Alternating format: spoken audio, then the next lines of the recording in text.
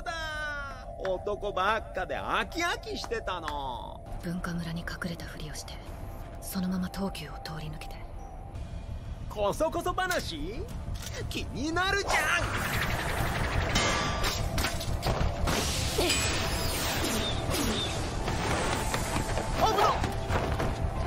自ら丸腰とかなめつ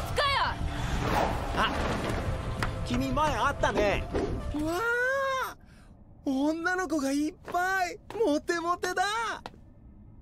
人の話聞いてんのかよ。どちら様ですか？